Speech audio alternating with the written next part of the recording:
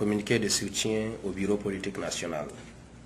Suite à la décision du Justice Andast du 7 juin 2010 qui vient de mettre définitivement fin à la bataille juridique pour le contrôle du parti en déboutant Hama Amadou pour défaut de qualité.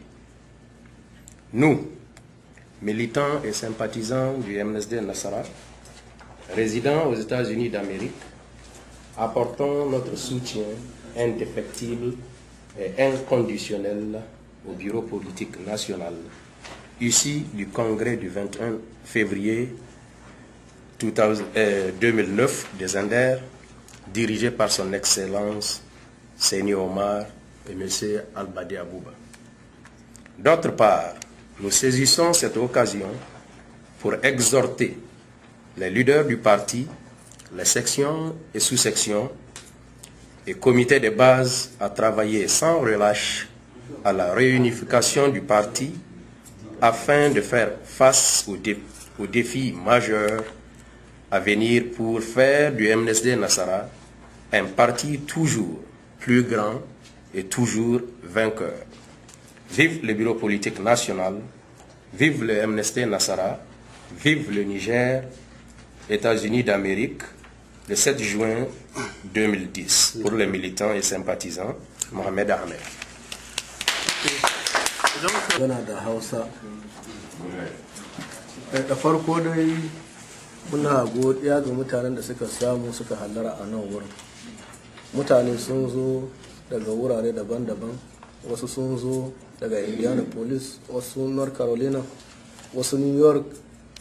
a wasu dai ga sunan dai da ko'ina.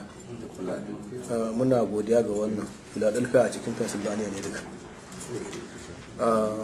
Allah mai da kowa garin shi lafiya Allah kuma ya ba mu ikon ya juna Allah ba mu ikon mu san matsayin mu san incin kanmu mu san menene ya kamata mu taimaka ka san mu ta ci gaba mu ma da muke nan waje ya kamata a ce duk dan wata ƙasa da ke wata ƙasa ya dinga tuna ƙasar shi. Duk abubuwan da ke faruwa a ƙasar shi ya dinga saurare ya san me ke faruwa. Yana da hakki dan ƙasa ne. Ya bi sau da kafa abubuwan da ke faruwa yana da ra'ayin da ya kamata ya baya wanda sai kawo ci gaban ƙasar shi saboda haka duk zaman da muke a nan waje ya kamata mu dinga sibir ɗin ƙasar mu abubuwan da ke faruwa a can. Ya kamata mu san ciwon kanmu mu san kuma cewa za mu koma ƙasar mu ne ba nan za mu dawo ba. Ya kamata kuma mu san su waye ya kamata su jagoranci ƙasar mu ta ci gaba.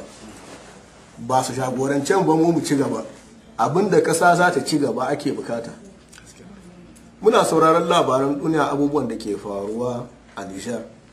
Wasu abubuwa a cewa yi wannan in bai da kaza ba sai yi zaɓe ba wannan in bai da kaza ba sai yi zaɓe ba sauransu. Wannan abubuwan duka ba su kamata ba. Mu a namu ra'ayi na amnesty nasara ya kamata a ce mutum kowane ɗan ƙasa na da 'yancin fadar ra'ayin shi yana da 'yancin ba da kandida na wani faskin da yake so. In matuƙar yana da tunanin miye zai yi wanda zai kawo ci gaban kasa ba wai sai a ce sai mutum yana da bag ba bayan bag sai ya karatu shekara uku. Wannan manufa ce wadda ake so a hana wasu a rabu da guzmani a harbi karsana ake so a yi. Wanda kuma bai kamata ba mu yarda da shi kuma bai kamata ba mu shiru ya kamata mu ma mu isar da sakamu ga shugabannin nishar na yanzu. Su yi adalci 'yan kasa duka 'yan kasa ne. A diba waɗanda suka shagoranci mu shekara nawa. Yanzu ka ɗauki wani dan bak mai bak na wannan lokaci wanga lokaci wanda samu bak yan shekarun da suka wuce. Ka ɗauki wanda ke da brebe wajen shekara talatin da suka wuce arba'in. Faransancin su ma ba su kama na wancan ya wanda ya samu baki nan sabo na yanzu. Saboda haka tunani ya kamata a dinga aiki da shi tunani ya kamata a shagoranci kasa da shi da son kasa da kishin kasa da abubuwa wanda suka kamata. Saboda haka muna roko wannan sako ko da ana ɗauka wataƙila za a sa a cikin youtube wataƙila wani zai karanta. Ya kamata shugabanni su canza shawara su bar 'yan kasa kowa ya yi kandida. Kawai abin da ba su ba su jahili wanda bai san kuma ba ya taso ya ce jagoranci wani abu. Duk wanda ya taso ya ce yana so ya jagoranci wani abu ya san abin da yake yi. Kenan a bi shi. Kuma a yi tunani a yi kamar yadda ake a nan rikuwar kin mutum ake duba ne ne wannan mutum ya yi. Nan ƙasashen da suka ci gaba su amerika da sauran. Rikuwar kinka ake aiki da shi mai kai kana da wani zalunci da kan kasa kana da wata handaba ko ba ka da ko sarkakakke ne kai. In sarkakakke ne kai to a barka ka nemi duk wani takara da kake so kai ko baka da ilimi sosai kana da niyya mai kyau wadda kana da niyya mai kyau wadda saka gyara ƙasar ka da ita.